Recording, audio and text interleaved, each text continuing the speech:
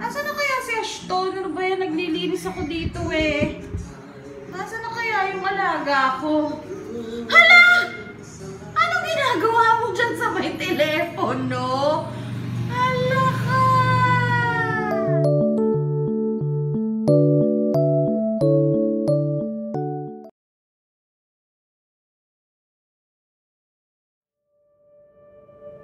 Thank you.